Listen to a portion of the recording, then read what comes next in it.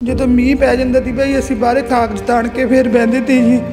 ਐਂਦੀ ਵੀ ਚਲੋ ਕਦੇ ਤਾਂ ਮਾਲਕ ਸੁਣੂ, ਕਦੇ ਤਾਂ ਸੁਣੂ, ਸਾਨੂੰ ਇੰਨੇ ਜੋਗਰਾ ਕਰੂਗਾ। ਪਰ ਮੇਰੀ ਸਾਰੀ ਉਮੀਦ ਖਤਮ ਹੋ ਗਈ, ਸਾਰੀ ਜੀ। ਕੁਝ ਨਹੀਂ ਰਿਹਾ ਮੇਰੇ ਪੱਲੇ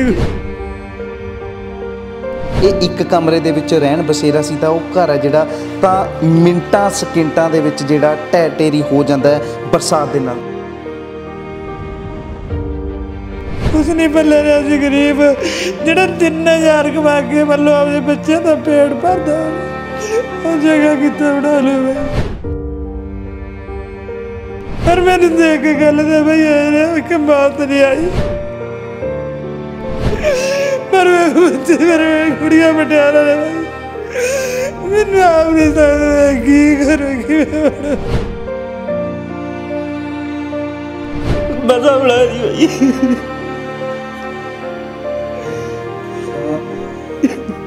ਕੋਈ ਨਹੀਂ ਵੀਰੇ ਕੋਈ ਚੱਕਰ ਨਹੀਂ ਇਹਦਾ ਪਰਮਾਤਮਾ ਬੈਠਾ ਕੋਈ ਐਡੀ ਗੱਲ ਨਹੀਂ ਕੋਈ ਨਹੀਂ। ਜੇ ਤਾਂ ਬਣਾ ਸਕਦਾ ਤਾਂ ਫਿਰ ਸਾਰਾ ਕੁਝ ਕਰ ਸਕਦਾ ਕੋਈ ਨਹੀਂ ਵੀਰੇ। ਕਿੰਨਾ ਕੁ ਨੁਕਸਾਨ ਹੋਇਆ ਮਾਤਾ ਜੀ? ਨੁਕਸਾਨ ਤਾਂ ਭਾਈ ਸਾਡੇ ਸਾਹਮਣੇ ਆ, ਸਭ ਕੁਝ ਤੇਰੀ ਹੋ ਗਿਆ। ਮਤਲਬ ਪਹਿਲਾਂ ਸਾਨੂੰ ਰੋਟੀ ਤੇ ਸਭ ਦੀ ਹੁਣ ਸਾਨੂੰ ਸਭ ਕੁਝ ਹੋ ਗਿਆ ਜੀ। ਮੈਂ ਵੀ ਸਕੂਲ 'ਚ ਪੋਚਾ ਲਾਉਣ ਗਿਆ ਹੋਇਆ ਸੀ ਜੀ। ਉਹਦੇ ਕਰਕੇ ਬਚਤ ਰਹਿ ਗਈ ਨਹੀਂ ਕੋਈ ਮਰ ਵੀ ਸਕਦਾ ਸੀ ਮੇਰਾ ਨਾਮ ਮੋਹਨ ਸਿੰਘ ਜੀ ਪਿੰਡ ਪੱਟੀਵਾਲ ਕਲਾਂ ਜੀ ਜ਼ਿਲ੍ਹਾ ਸੰਗਰੂਰ ਆ ਬਾਈ ਜੀ ਮੇਰਾ। ਤੇ ਮੋਬਾਈਲ ਨੰਬਰ ਹੈ ਜੀ ਮੇਰਾ 95928 47093 ਜੀ। ਭਾਰੀ ਬਰਸਾਤ ਦੇ ਕਾਰਨ ਇੱਕ ਗਰੀਬ ਪਰਿਵਾਰ ਦੀ ਛੱਤ ਗਿਰ ਜਾਂਦੀ ਹੈ ਜਿਸ ਤੋਂ ਬਾਅਦ ਖਬਰਾਂ ਤੱਕ ਲੱਗਦੀਆਂ ਨੇ ਸਾਡੇ ਅਦਾਰਿਆਂ ਦੇ ਵੱਲੋਂ ਤਾਂ ਜਿਸ ਤੋਂ ਬਾਅਦ ਹਲਕਾ ਵਿਧਾਇਕ ਦੇ ਜਦੋਂ ਪਰਿਵਾਰ ਨੂੰ ਪਤਾ ਚੱਲਦਾ ਤਾਂ ਉਹਨਾਂ ਦੇ ਪਤੀ ਉਸ ਪਰਿਵਾਰ ਨਾਲ ਮਿਲਣ ਵੀ ਪਹੁੰਚਦੇ ਨੇ। ਜਿਹੜੀ ਮਤਲਬ ਕਿ ਆਪਣੀ ਛੱਤ ਗਿਰ ਗਈ ਨਾ ਆਪਾਂ ਬਣਾ ਲਾਂਗੇ ਕੋਈ ਚੱਕਰ ਨਹੀਂ।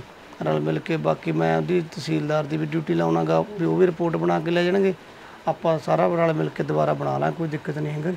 ਤੇ ਆਪਾਂ ਸਾਡੇ ਪਰਿਵਾਰ ਵੱਲੋਂ ਹਨਾ ਮੌਕੇ ਤੇ ਉਹ ਚਲੋ ਕਾਨੂੰਨੀ ਪ੍ਰਕਿਰਿਆ ਹੌਲੀ ਹੌਲੀ ਜਿਹੜਾ ਹਿਸਾਬ ਕਿਤਾਬ ਕਾਨੂੰਨੀ ਕਾਰਵਾਈ ਹੌਲੀ ਹੌਲੀ ਬਣਦੀ ਹੈ ਨਾ ਉਹ ਟਾਈਮ ਲੱਗ ਜਾਂਦਾ ਪਰ ਆਪਾਂ ਤਾਂ ਹੁਣ ਮੌਕੇ ਤੇ ਤੰਗ ਆ ਹਨਾ।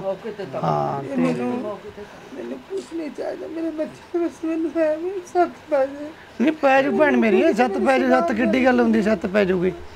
ਤੇ ਹਾਂ। ਨਾ ਨਾ ਕੋਈ ਗੱਲ ਨਹੀਂ। ਸਕਿਰਟ ਉਦੋਂ ਹੀ ਮੈਨੂੰ ਪੈਸੇ। ਇਹ 21000 ਰੁਪਿਆ ਹੈ ਠੀਕ ਆ? ਇਹ ਤੁਸੀਂ ਮੇਰੇ ਵੱਲੋਂ ਰੱਖੋ।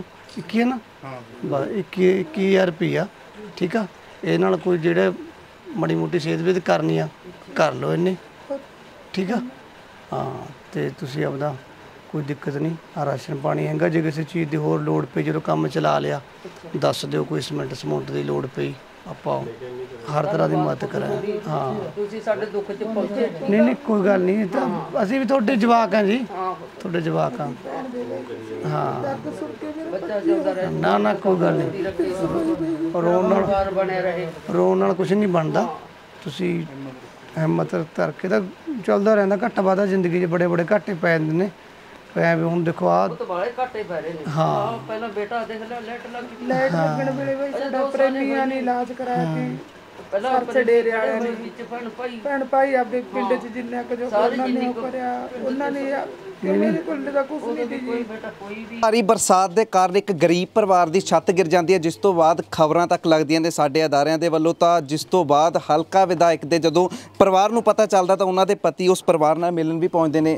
ਵੀਰ ਜੀ ਕਿਸ ਤਰੀਕੇ ਦੇਖਦੇ ਹੋ? ਛੱਤ ਗਿਰ ਜਾਂਦੀ ਹੈ ਪਰਿਵਾਰ ਦੇ ਹਾਲਾਤ ਵੀ ਦੇਖੇ ਨੇ। ਤਾਂ ਕੀ ਗੱਲਬਾਤ ਪਿਛਲੇ ਦਿਨੀ ਮੈਂ ਸੋਸ਼ਲ ਮੀਡੀਆ ਜਰੀਏ ਦੇਖਿਆ ਸੀਗਾ ਕਿ ਪੱਟੀਵਾਲ ਕਲਾਂ ਦੇ ਇੱਕ ਗਰੀਬ ਪਰਿਵਾਰ ਦਾ ਜਿਹੜਾ ਮਕਾਨ ਦੀ ਛੱਤ ਗਿਰ ਜਾਂਦੀ ਆ ਤੇ ਸਾਡੇ ਭੈਣ ਜੀ ਸਾਡਾ ਭਰਾ ਜੋ ਪਿਛਲੇ ਦਿਨੀ ਸਮੇਂ 'ਚ ਜਿਨ੍ਹਾਂ ਦਾ ਐਕਸੀਡੈਂਟ ਹੋ ਗਿਆ ਸੀ, ਇੱਕ ਬਾਂਹ ਕੱਟ ਗਈ ਸੀਗੀ ਤੇ ਬੜਾ ਮਨ ਦੁਖੀ ਹੋਇਆ ਕਿ ਜੋ ਪਰਿਵਾਰ ਦਾ ਮੇਨ ਮੁਖੀਆ ਕਮਾਉਣ ਵਾਲਾ ਉਹ ਅਪਾਹਜ ਹੈ ਤੇ ਪਿੱਛੇ ਬੱਚੇ ਨੇ, ਦੋ ਗੁੜੀਆਂ ਨੇ, ਇੱਕ ਬੱਚਾ ਹੈ, ਮਾਂ ਹੈ, ਉਹਨਾਂ ਦਾ ਗੁਜ਼ਾਰਾ ਬੜਾ ਔਖਾ ਚੱਲਦਾ ਤੇ ਉਹ ਘਰ ਗਿਰ ਗਿਆ ਤੇ ਮਨ ਨੂੰ ਬੜਾ ਦੁੱਖ ਪਹੁੰਚਿਆ। ਤੋ ਮੈਂ ਬਿਮਾਰ ਸੀਗਾ ਐਮਐਲ ਸਾਹਿਬ ਹੁਣ ਵੀ ਬਿਮਾਰ ਨੇ, ਬਿਮਾਰ ਚੱਲ ਰਹੇ ਸੀ ਥੋੜਾ ਜਿਹਾ। ਤੇ ਪਰ ਅੱਜ ਮੈਨੂੰ ਥੋੜਾ ਸਹੀ ਲੱਗਿਆ ਤੇ ਮੇਰਾ ਜਨਮ ਦਿਨ ਸੀਗਾ। ਮੈਂ ਸੋਚਿਆ ਕਿ ਅੱਜ ਹੀ ਚਲੋ ਬਹੁਤੀ ਦੇਰੀ ਨਾ ਕਰੀਏ ਕਿਉਂਕਿ ਗਰੀਬ ਬੰਦੇ ਲਈ ਇੱਕ ਦਿਨ ਵੀ ਲਗਾਉਣਾ ਇਸੇ ਸਮੇਂ ਦੇ ਵਿੱਚ ਔਖਾ ਹੋ ਜਾਂਦਾ ਹੈ। ਤੇ ਮੈਂ ਪਰਿਵਾਰ ਦੀ ਨਿੱਜੀ ਤੌਰ ਤੇ ਮਦਦ ਕਰਨ ਪਹੁੰਚਿਆ।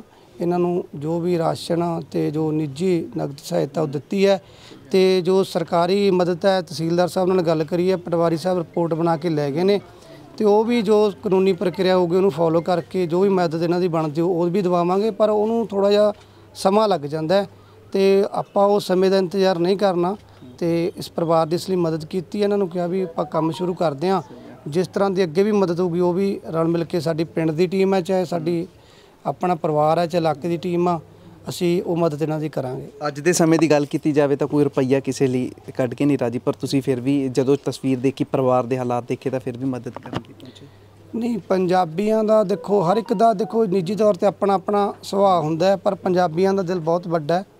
ਤੇ ਮੈਂ ਤਾਂ ਅਕਸਰ ਜਿੱਥੇ ਵੀ ਕੋਈ ਪਤਾ ਲੱਗਦਾ ਮੈਂ ਤਾਂ ਨਾਲ ਦੀ ਨਾਲ ਪਹੁੰਚਦਾ ਜਿੰਨੀ ਮੇਰੀ ਹੈਸੀਅਤ ਆ ਨਿੱਜੀ ਤੌਰ ਤੇ ਮੈਂ ਤੁਰੰਤ ਉਹਨੀ ਮਦਦ ਕਰ ਦਾਂਗਾ ਕਿਉਂਕਿ ਇਹ ਪਰਿਵਾਰ, ਸਾਡੇ ਸਾਰੇ ਪਰਿਵਾਰ ਨੇ, ਇਹਨਾਂ ਨੇ ਸਾਨੂੰ ਪਿਛਲੇ ਸਮੇਂ 'ਚ ਬਹੁਤ ਵੱਡਾ ਮਾਣ ਬਖਸ਼ਿਆ। ਇਹ ਜ਼ਿੰਦਗੀ ਇੱਕ ਸਫ਼ਰ ਹੈ।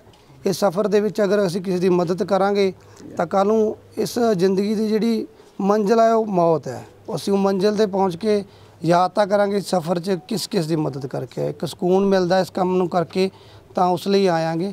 ਤੇ ਬਹੁਤ ਚੰਗਾ ਲੱਗਦਾ ਕਿਸੇ ਦੀ ਮਦਦ ਕਰਕੇ, ਕਿਸੇ ਦੇ ਦੁੱਖ 'ਚ, ਜੋ ਕਿਸੇ ਦਾ ਦੁੱਖ ਵੰਡਦੇ ਆ ਨਾ, ਉਹ ਬਹੁਤ ਘਟ ਜਾਂਦਾ ਹੈ। ਖੁਸ਼ੀਆਂ ਵੰਡਣ ਨਾਲ ਵੱਧ ਜਾਂਦੀਆਂ ਨੇ, ਦੁੱਖ ਵੰਡਣ ਨਾਲ ਘਟ ਜਾਂਦੇ ਨੇ। ਮੇਰੇ ਆਉਣ ਨਾਲ ਇਹਨਾਂ ਦਾ ਜੇ 1% ਵੀ ਦੁੱਖ ਘਟਿਆ ਹੋਇਆ, ਤਾਂ ਮੈਨੂੰ ਬੜੀ ਖੁਸ਼ੀ ਮਿਲੀ ਆ।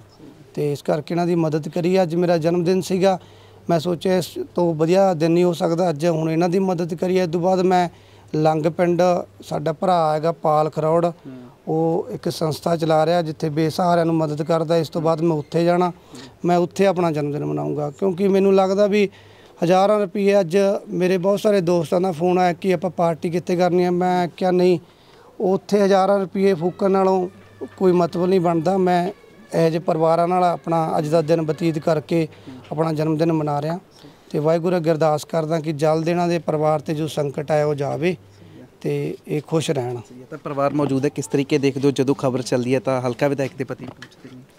ਵੀਰੇ ਅੱਜ ਬਾਈ ਦਾ ਜਨਮ ਦਿਨ ਹੈ। ਦੇਖੋ ਬਾਈ ਸਾਡਾ ਦੁੱਖ ਦਰਦ ਬਣਾਉਣ ਆਏ ਨੇ ਸਾਡੇ ਨਾਲ। ਅੱਜ ਦੇ ਵਕਤ ਸਾਡੇ ਲਵੇ ਮੰਨ ਲਓ ਸੱਤ ਵੀ ਨਹੀਂ ਹੈਗੀ। ਬਾਈ ਨੇ ਸਾਰਾ ਕਿਹਾ ਆਪਦੇ ਜਨਮ ਦਿਨ ਤੇ ਵੀ ਬਈ ਮੈਂ ਤੁਹਾਡੇ ਨਾਲ ਆ ਸੋਚੋ ਜੀ ਬਾਈ- ਦਾ ਜਨਮ ਦਿਨ ਤੇ ਮੇਰੇ ਦੇਣ ਵਾਸਤੇ ਮੇਰੇ ਲਵੇ ਕੁਛ ਨਹੀਂ। ਸਿਰਫ ਇੱਕ ਇੰਨਾ ਖਸਨੇ ਬਾਈ ਤੇਰੀ ਬਹੁਤ ਵੱਡੀ ਉਮਰ ਹੋਵੇ। ਆਸ਼ੀਰਵਾਦ ਤੋਂ ਵੱਡਾ ਮਾਲਕ। ਰੋਣਾ ਨਹੀਂ ਤਾਂ ਥੋੜੀ ਜੀ ਆਸ ਹੋਈ ਹੈ ਵੀ ਹੁਣ ਛੱਤ ਪੈ ਸਕਦੀ ਹੈ। ਬਾਈ ਇੱਕ ਭਰਾ ਆਪਦੇ ਨਾਲ ਖੜਦਾ ਹੈ ਤਾਂ ਉਹਨੂੰ ਉਮੀਦ ਜ਼ਰੂਰ ਜਾਗਦੀ ਹੈ ਵੀ ਹਾਂ ਮੇਰਾ ਘਰ ਪੈ ਜੂ। ਹਾਂ ਮੈਂ ਜਿੱਦਾਂ ਦੀ ਮੇਰੀ ਸੱਤ ਡਿੱਗੀ ਥੀ ਮੈਨੂੰ ਐਂਦੀ ਵੀ ਸ਼ਾਇਦ ਮੈਂ ਕਦੇ ਵੀ ਆਪਣਾ ਮਕਾਨ ਨਹੀਂ ਬਣਾ ਸਕਦੀ। ਕਿਉਂ? ਆਪ ਨੂੰ ਲੱਗਦਾ ਤੇ ਵੀ ਨਾ ਆਪ ਚ ਨਾ ਹੈ ਨਹੀਂ ਵੀ ਮੈਂ ਕਰ ਲੂੰਗੀ।